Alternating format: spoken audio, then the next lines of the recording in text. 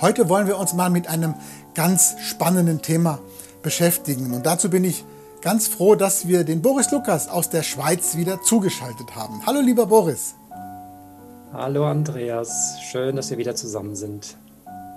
Ja, jetzt will ich auch die Zuschauer nicht länger auf die Folter spannen, obwohl ihr habt es im Titel ja schon gesehen.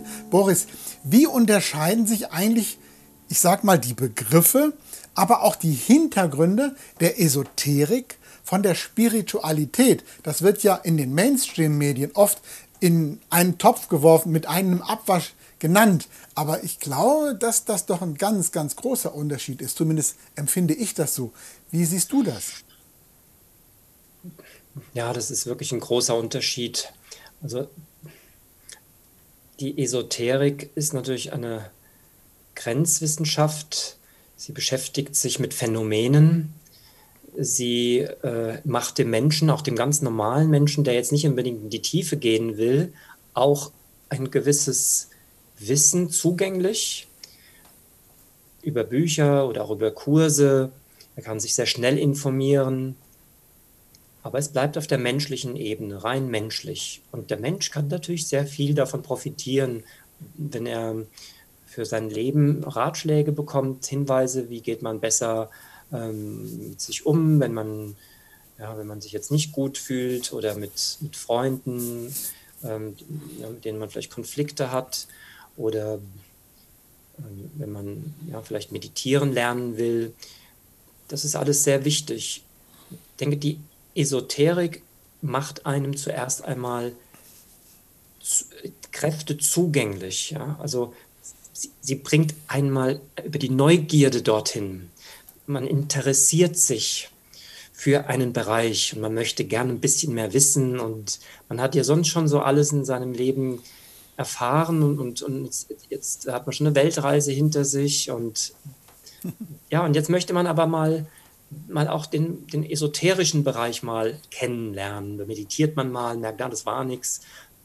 Geht man, so, geht man mal woanders hin. Also man ist eigentlich ziemlich an der Oberfläche, aber das ist sehr wichtig, weil man sich orientiert. Die Esoterik macht einem, ja, bringt einen auf den Geschmack.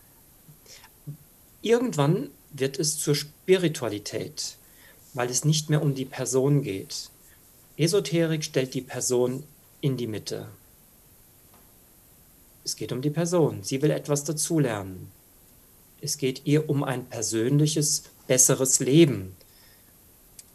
In der Spiritualität geht es nicht um ein persönliches, besseres Leben, sondern nimmt man in Kauf, dass man mit Anteilen konfrontiert wird, die einem nicht gefallen, dass man sein Ego kennenlernt, dass man kennt, ja, ich war ja nur neugierig und ich habe ja die Liebe ähm, eigentlich auch aus dem Selbstzweck heraus versucht zu verstehen, aber, die, aber in der Spiritualität merkst du, dass Liebe eine ganz ernste Sache ist, dass Liebe eine Grundlage des Lebens ist, dass Liebe etwas Bedingungsloses ist und merkst auf einmal, da stehst du gar nicht als Mensch. Also du musst dir eingestehen, dass du noch ziemlich menschlich bist. Und es ist wichtig, das zu unterscheiden.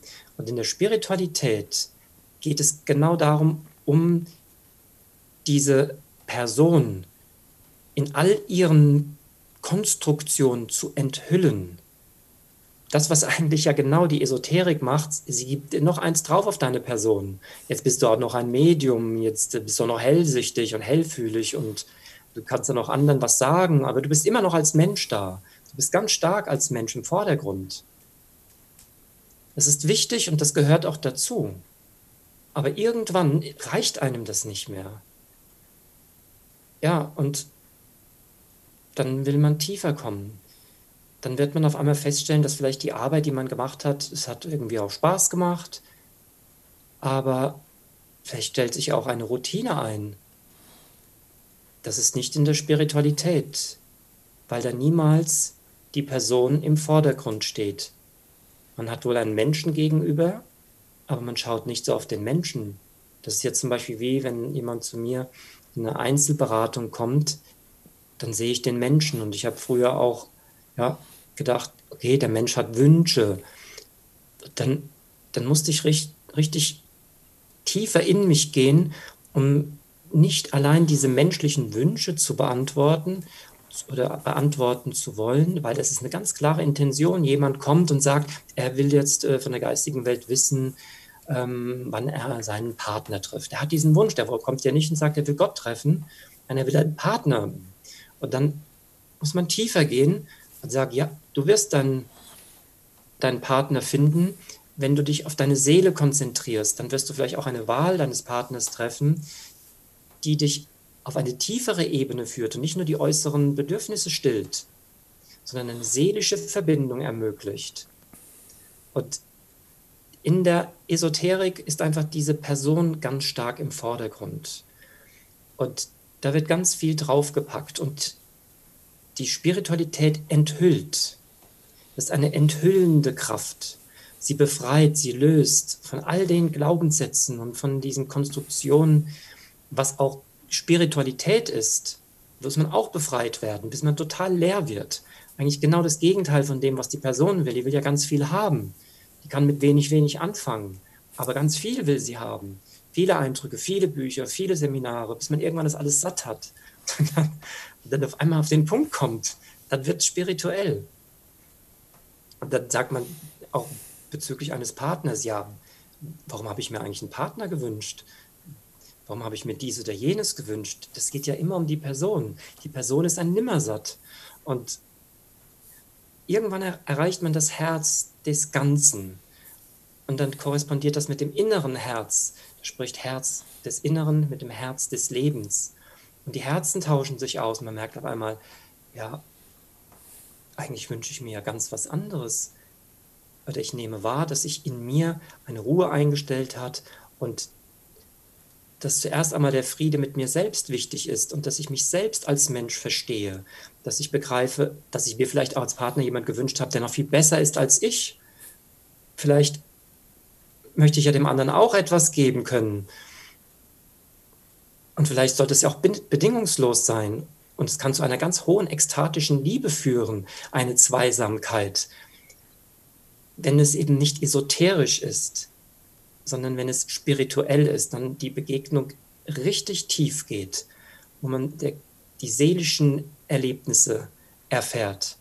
Also Spiritualität heißt für mich enthüllen, auch Person enthüllen, Person entmachten, Person überwinden, menschliche, persönliche Wünsche zu erkennen und nicht mehr in den Vordergrund zu stellen. Außer man will es unbedingt. Dann ist es auch eine Entscheidung, die man Leben, ja, der man folgen sollte, wenn man sagt, ja, man will das äußere Leben, dann ist der Drang da dahingehend natürlich auch größer und dann sollte man das auch unbedingt leben, weil sonst würde man ja den Anteil unterdrücken. Aber irgendwann ist das alles vorüber und dann beginnt erst die Spiritualität, dann zieht der Friede ein und man sieht, worum geht es tatsächlich.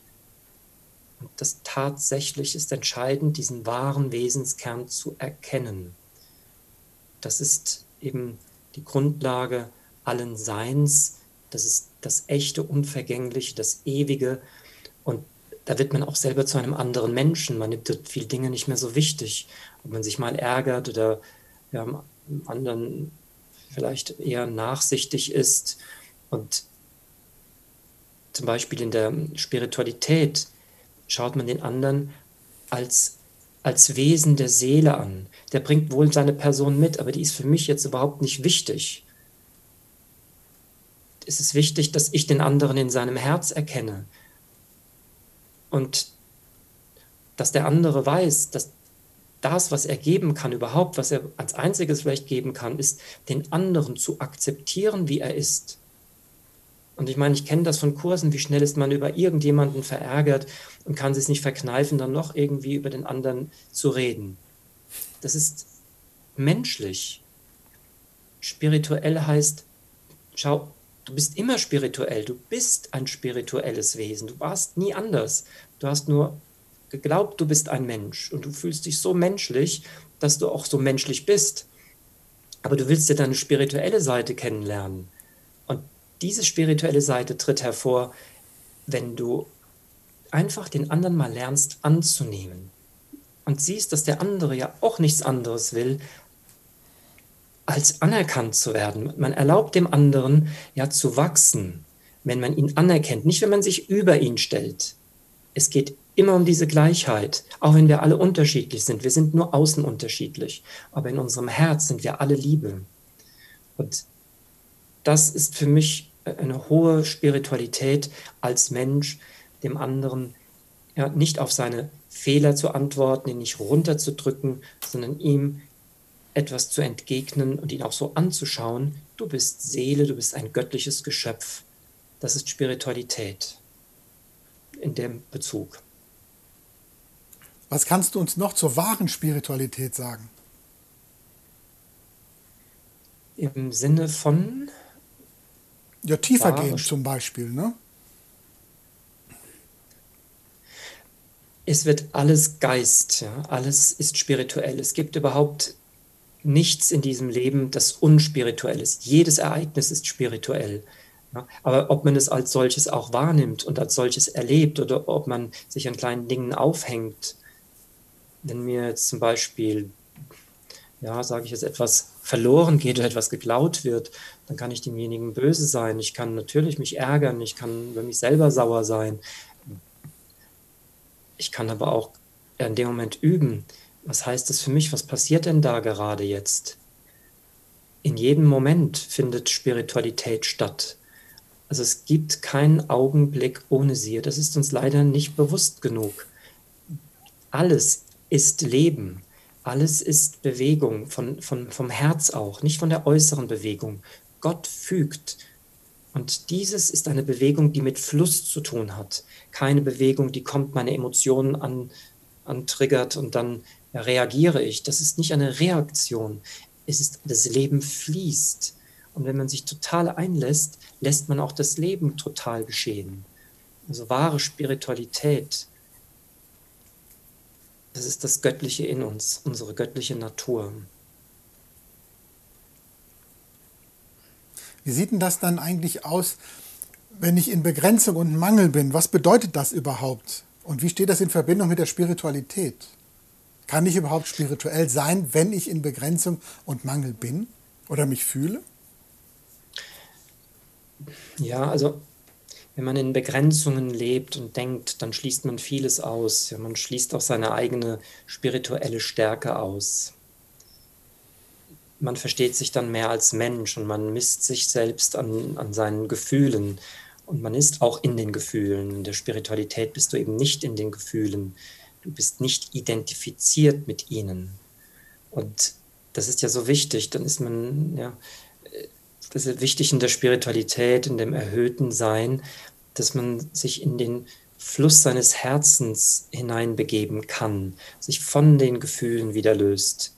Weil der Mangel zum Beispiel in uns, der hat eine wirklich destruktive Energie, er reduziert sich und diese erniedrigende Energie, die viele Menschen in sich tragen, die, die wirken ja nicht gesegnet, aus, dieser, aus einer erniedrigten Energie kann ja keine Größe erwachsen. Sein eigenes Licht sieht man nicht. Man kann das Licht des anderen zwar irgendwo sehen, man stellt andere über sich, aber sein eigenes Licht sieht man nicht. Man stellt andere auf den Sockel und was wird passieren? Man stößt sie wieder vom Sockel. Also es ist keine gute äh, Voraussetzung, in dieser erniedrigten Energie zu sein. Und es ist die, die Liebe in uns, die diese Kraft ja, umwandelt und uns dabei hilft, dass wir ähm, diese menschlichen Anteile und diese Verflechtung mit dem äußeren Leben ent, entwirren.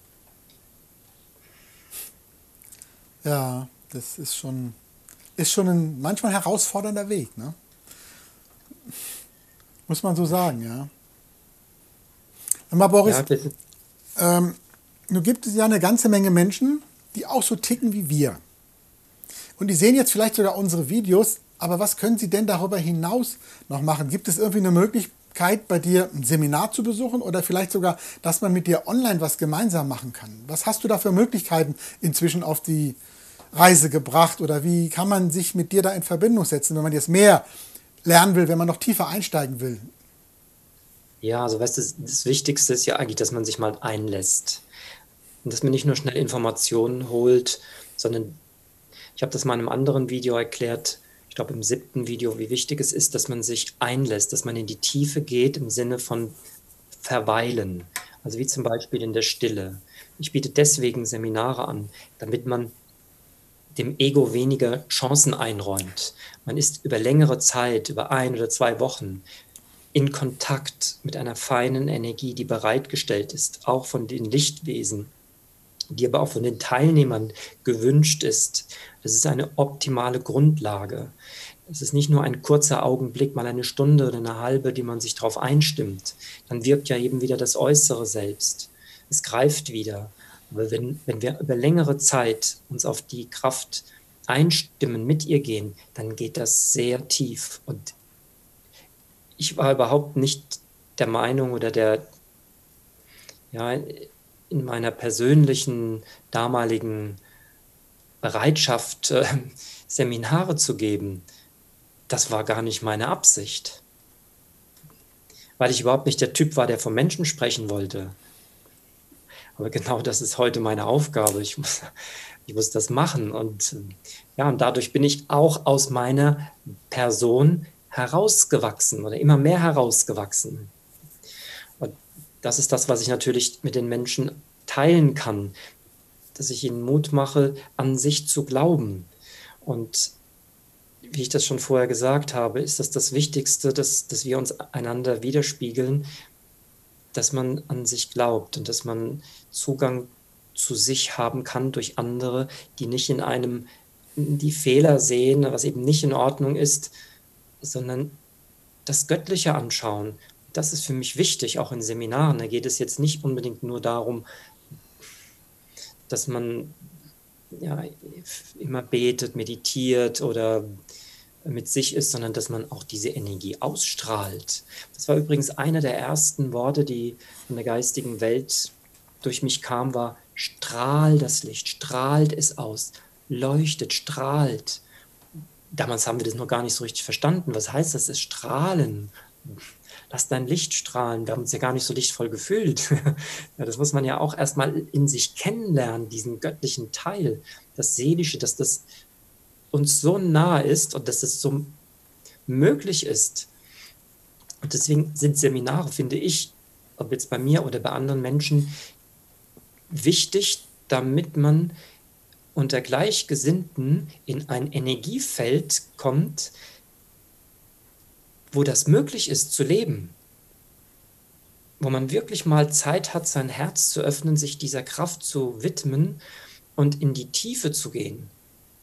Und wenn man in die Tiefe geht, dann geht, dann geht man an so viel Altem vorüber, ohne dass das Alte dadurch so belebt wird, sondern man geht immer tiefer. Und was dann hochkommt, kann durch diese ähm, durch diese Liebe und durch diese Schwingung viel leichter gelöst werden. Und das ist für mich ein ganz gesegneter Weg. Also gesegnet heißt zum Beispiel für mich, es ist vom Göttlichen vorgegeben.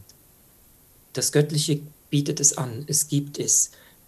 Wenn ich ganz ruhig bin, sagen wir wie, eine, wie ein Nerv, der ganz still, friedlich ist und der nur aus diesem Sein berührt wird, dann bin ich hochempfindlich und sensibel zugleich und spüre sofort, wenn ein anderer Spieler des Lebens diese Seite berühren will.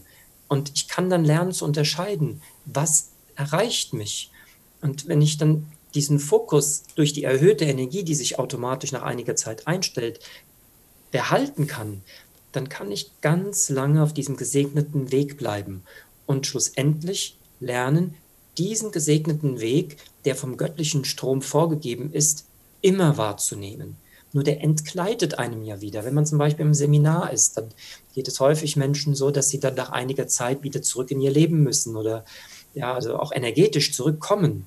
Und dann, ähm, man, die Energie hält natürlich schon einige Wochen, das ist absolut Monate und es verändert auch etwas. Aber man muss wieder an die Teile herankommen, wo man noch nicht bei sich ist, noch nicht gefestigt ist. Und deswegen ist das Leben im Grunde eine Riesenmöglichkeit, sich so oft wie es geht in diese Tiefe zu begeben, weil man diese lichte Energie, die man erlebt, in sein Bewusstsein bringt und dadurch ein Leben, einem Leben folgt und einer gesegneten Energie folgt, die aus der Liebe kommt. Also das Leben schlägt uns etwas vor, es zeigt uns etwas. Ja, es will uns immer etwas zeigen, das uns erfüllt. Es will uns nichts nehmen. Und das ist auch das, was wir suchen. Ja, wir suchen nach, ich sage jetzt nochmal, vielleicht Partnerschaft oder wir suchen nach, nach mehr Zufriedenheit. Das Leben will gar nichts anderes. Die liebende, die liebende Gegenwart will überhaupt nichts anderes, als uns genau das zu zeigen. Und durch diese gesegnete Einstimmung, also durch die erhöhte Energie, durch das Halten dieser Kraft, durch die feine Schwingung, durch das Wohlwollen in einem, das von einem ausgeht, das man ausstrahlt, nimmt man diese gesegnete Vorgabe auf. Man erkennt den Weg, der von der Gegenwart gegeben ist. Aber man kann den nicht erkennen, wenn man nicht in dieser Kraft ist. Dann hat man immer Fragen und sagt, ja, wo ist denn dies, was ich suche? Finde ich mal jemanden? Werde ich glücklicher? Werde ich zufriedener? Finde ich mehr Zufriedenheit mit mir? Finde ich meinen Beruf? All diese Fragen sind ja nur da, weil man nicht genug in diesem gesegneten Strom ist. Aber wie gesagt, das ist auch nicht, dass man einfach so, das kann jetzt mal kommen und ihr Geistführer ähm, helft mir mal jetzt dabei. Das Leben fügt, das Leben zeigt auf, die geistige Führung wirkt ständig und sie führt uns dorthin, aber es setzt auch voraus, dass wir achtsam sind, dass wir offen sind. Und es ist sehr wichtig, wenn wir zum Beispiel uns Liebe wünschen, dann kann ich nicht einfach sagen, ich wünsche mir Liebe. Das ist eigentlich egoistisch. Aber wenn ich sage, ich wünsche mir Liebe, damit Liebe durch mich wirkt, ich wünsche mir Fülle, damit Fülle durch mich wirkt, also nicht nur meinetwegen, damit es mir besser geht, sondern damit es durch mich auch zum Wohle anderer wird, ist das eine ganz andere Grundlage. Und damit es viele ja, esoterische Wissen ein spirituelles Wissen wird, das mit ganz vielen Aha-Effekten einhergeht. Zum Beispiel wie, ja, warum soll ich denn in die Stille gehen? Auf einmal, aha, jetzt verstehe ich. Damit das möglich ist, braucht es die Zeit, die Anbindung an das Licht, das wiederholte Üben und die Kontinuität Daher halte ich Seminare für etwas total Wichtiges. Und jeder wählt sich die Menschen aus, von denen er gerne ler lernen möchte. Das ist eine Herzfrage. Wie du vorher gesagt hast, du bist ein Menschen, ja, die so wie wir auf dem Weg sind. Es gibt so viele Realitäten, auch im Spirituellen. Und es gibt Leute, die sind mit einem ganz gewissen Erkenntnisprozent, äh, Erkenntnis, ja, Prozentsatz, sind die einfach völlig zufrieden weil das für sie schon ein Erwachen ist. Für andere ist das noch lange nicht abgeschlossen. Die wollen viel weiter, die haben einen inneren Fokus, die wollen, die wollen in die Ekstase, die wollen in die Totalität der Liebe.